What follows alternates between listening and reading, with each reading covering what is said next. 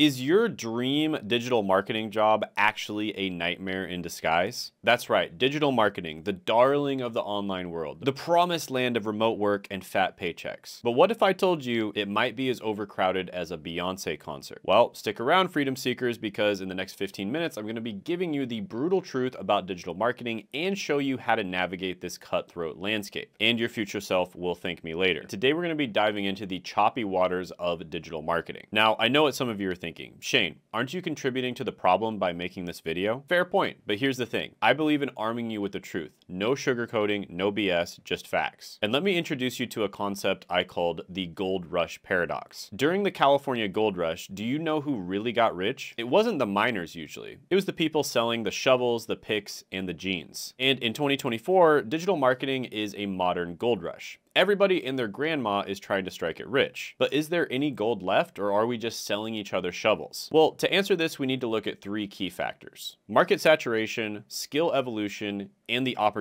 landscape. And I call this the digital marketing viability triangle. And by the end of this video, you'll understand if digital marketing is truly oversaturated. But you'll also understand where the real opportunities lie and whether it's the right path for you. But first, let's address the elephant in the room. We need to acknowledge the elephant in the room. Francine, According to LinkedIn, there are over 3.5 million people who list digital marketing skills on their profiles. And that's a lot of competition, folks. But before you close your laptop and go cry in a shower, remember this, not all digital marketers are created equal. And that's where the opportunity lies. So are you ready to separate digital marketing fact from fiction to discover if this gold rush is a boom or a bust? Then let's dive in because it's time to mine for the truth. All right, let's address the big scary monster in the room. Is digital marketing oversaturated? The short answer, yes, and no. Here's the brutal truth. We are currently in a secret job recession. Now, of course, governments don't want to admit this because it makes them look bad and then they're less likely to be reelected, but that is the truth. People are not hiring as much, companies are laying people off, and it has to do with many different factors from inflation to the rise of AI. And so jobs in general are significantly harder to get right now than they used to be. And here's another brutal truth. The entry-level digital marketing space is crowded AF. Everyone who's taken a Udemy course thinks they're an expert and spoiler spoiler alert, they're usually not. But here's where it gets interesting. While the bottom is still overcrowded, the top is pretty damn empty. Let me throw some numbers at you. There are over 30 million small businesses in the US alone. And guess what? Most of them absolutely suck at digital marketing. And if they didn't suck at digital marketing, they would be making way more money than they are right now. So while there are millions of digital marketers, there's a severe shortage of actually good ones. And the question is, which group do you want to be in? Now let's talk about skills. Posting on Facebook ain't gonna cut it. And digital marketing is evolving faster than my mom's mood swings. And what worked yesterday might be completely useless tomorrow. The two that are the absolute most obvious when you look at the job market are going to be SEO, which is search engine optimization, and pay-per-click skills. Those are the jobs that consistently people are hiring for over and over again. However, there are some other skills that are incredibly important as well, such as content creation, AI and machine learning integration, data analytics and interpretation, and omni-channel marketing strategies. Notice something? These aren't just tactical skills. They require strategic thinking and adaptability. And here's the kicker. Most digital marketers aren't keeping up. They're still living in 2015 using outdated tactics. And this is your opportunity. While others are fighting over table scraps, you can position yourself as a true digital marketing strategist. But fair warning, it won't be easy. You'll need to commit to continuous learning. So are you up for the challenge? Well, there is a free training which I'll put down in the description and the pinned comment below that will show you how you can get into a lot of these different digital marketing careers, which ones are the best types of digital marketing careers, and which ones are the best for you specifically. And the person who's hosting this free training is my friend Seth, who has helped thousands of people get digital marketing jobs, many of which which I've actually interviewed on this channel, such as James, who was able to get a job at 16 years old. And you can check that out by clicking down the description and the pinned comment below. All right, let's talk opportunities because contrary to popular belief, there's still a lot of gold out there to mine. There's gold in them da hills.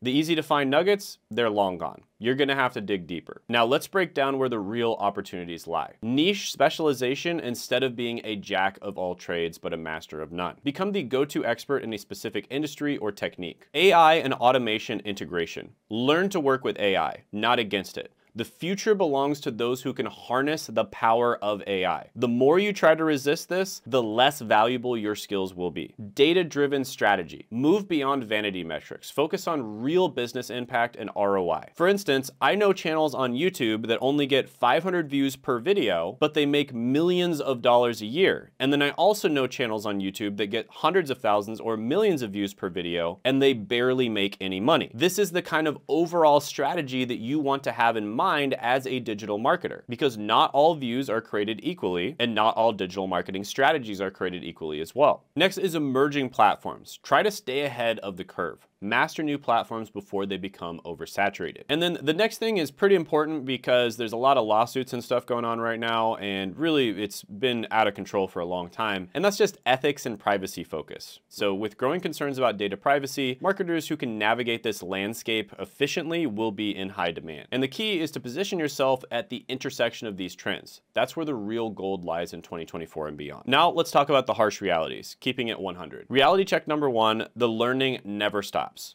If you're not constantly upskilling, you are going to be failing behind. That Coursera certificate from 2019, it's already obsolete. Reality check number two. It's a 24-7 gig. The internet never sleeps, and neither does digital marketing. Be prepared for odd hours and constant notifications. However, there is usually a lot of downtime in digital marketing as well. Reality check number three, it's more math than you think. Data analysis is a huge part of the job, and it's becoming more and more important. And it's very important for you to be able to look at data and make sense of that data, and then take action on that data. If you can combine the digital marketing skills with the data analysis skills, you are in very, very high demand. Reality check number four, you will fail a lot. Digital marketing is all about testing and iteration. And by the way, I have a friend named William Chow who teaches people exactly how to do digital marketing mixed with data analytics. And I'll put him down in the description in the pinned comment below so you can check out his channel. But here's the silver lining. If you can push through these harsh realities, the rewards can be pretty sweet. Now let's talk about the salary situation. Because at the end of the day, we all gotta eat. Entry level positions, you're looking at 40 to 60K. Not great, but not terrible either. Especially considering you do not need a college degree to get into these positions. Mid-level with some solid skills, we're talking about 60 to 100K, and you can get there within a few years. And this is where it gets really juicy. Now, if you stack skills, for instance, if you have digital marketing skills, plus you have data analytics skills, and you have some management and leadership skills, then you can move into a position such as senior strategist and manager. And they typically make 100 to 200K per year plus. And then above that, if you run your own agency, well, the sky's the limit. You can make millions of dollars a year. But remember, these numbers are meaningless if you're mediocre. The real money is in being exceptional. So ask yourself, are you willing to put in the work to be in that top tier, or are you content with fighting for scraps at the bottom? All right, let's gaze into the crystal ball. Let's look at the future of digital marketing. First of all, AI dominance. AI won't replace marketers, but marketers who use AI will absolutely replace the ones who don't. Embrace AI. It's an incredible tool. It can make your work better. It can make you do work much faster, and it can also help you learn much faster as well. Next is hyper personalization. Generic campaigns will be dead. Everything will be tailored to the individual. Next is voice and visual search optimization. Hey Alexa and Google Lens will change the game. Next is augmented reality integration. Basically, it's gonna be like try before you buy, but in your living room. Another thing that's very likely to be integrated is blockchain for transparency. So you can say goodbye to ad fraud and hello to verified engagement. But the question is, are you prepared for this future or will you be left behind in the digital dust? All right, so time for some self-reflection, freedom seekers. Is digital marketing your ticket to the promised land or is it a one-way ticket to stress city? Ask yourself, do you love constant change and learning? Can you balance creativity with analytical thinking?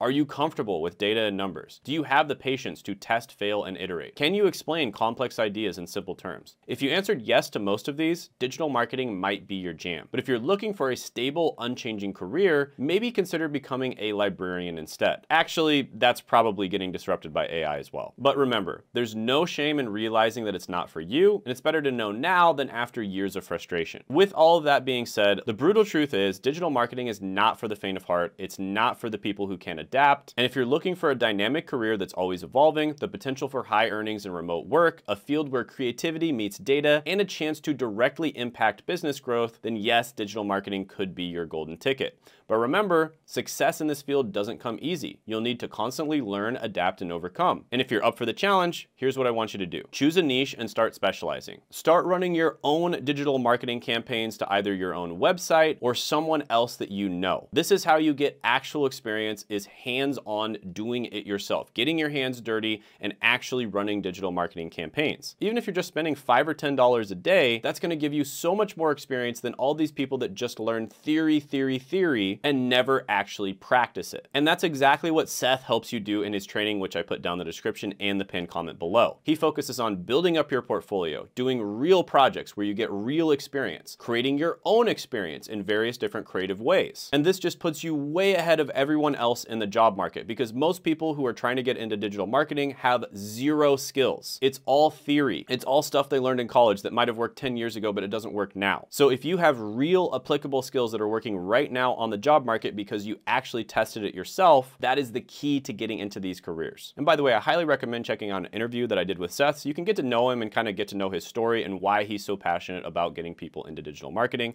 And you can check that out by clicking right here.